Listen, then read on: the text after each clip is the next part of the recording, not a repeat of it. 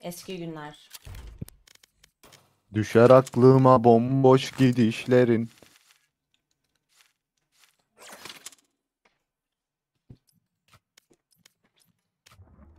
Dünden kalma